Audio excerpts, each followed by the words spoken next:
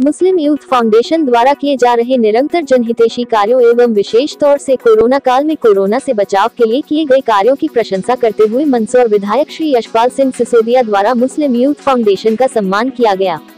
इस अवसर पर विधायक श्री सिसोदिया ने कहा कि मुस्लिम यूथ फाउंडेशन के सम्मानीय सदस्यों द्वारा जिस भावना और पवित्र मन के साथ और विभिन्न चुनौतियों का सामना करते हुए बिना किसी भेदभाव के जो कार्य किए गए हैं और जो निरंतर किए जा रहे हैं, वो यकीनन प्रशंसा और सम्मान के लायक हैं। मैं फाउंडेशन के सभी सदस्यों को धन्यवाद प्रेषित करते हुए उनके उज्जवल भविष्य की कामना करता हूँ। शासन प्रशासन के साथ मिलकर जब संगठन कार्य करता है तो एक और एक ग्यारह हो जाते हैं, और इससे जनसेवा को बल मिलता है। मुस्लिम यूथ फाउंडेशन के अध्यक्ष श्री मजहर खान ने श्री यशपाल सिंह सिसोदिया का धन्यवाद व आभार व्यक्त किया।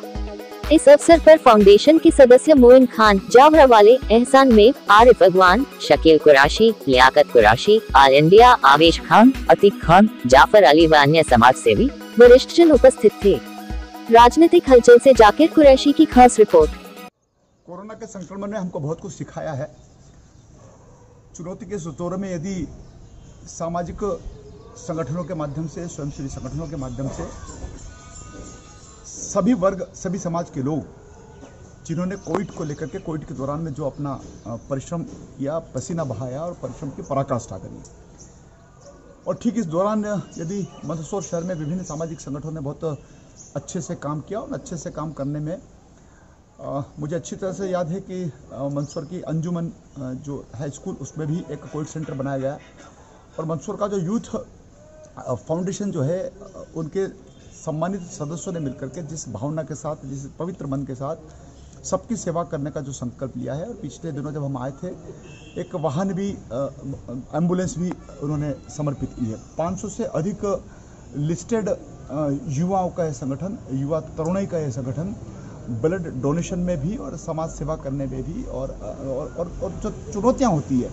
उन तत्कालीन चुनौतियों का सामना करने को लेकर के बगैर किसी भेदभाव के जिस प्रकार से मंदसौर शहर की इस सीमा रेखा में अपना कामकाज कर रहे हैं, उनके प्रति धन्यवाद भी ज्ञापित करता हूँ, शुभकामना भी ज्ञापित करता हूँ। आज प्रसंग इसलिए आया है कि कल माननीय मुख्यमंत्री जी ने मंदसौर शहर की समाजसेवी, स्वयंसेवी संगठनों को, दानदाताओं को, उनकी उपस्थिति में वर्चुअली में जब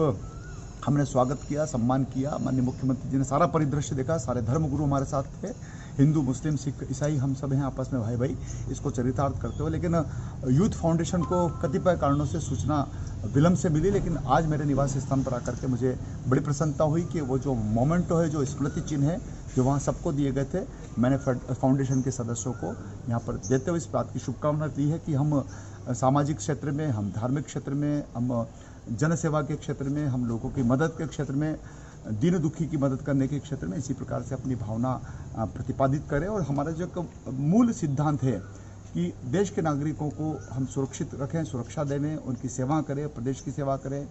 नगर की सेवा करें और नगर की सेवा में सरकार के साथ साथ, प्रशासन के साथ साथ यदि हमारा संगठन साथ हो जाता है तो एक और एक ग्यारह हो जाते हैं। मैं पुनः यूथ फाउंडेशन के प्रति आभार व्यक्त करते हुए शुभकामना ज्ञापित करता हूँ।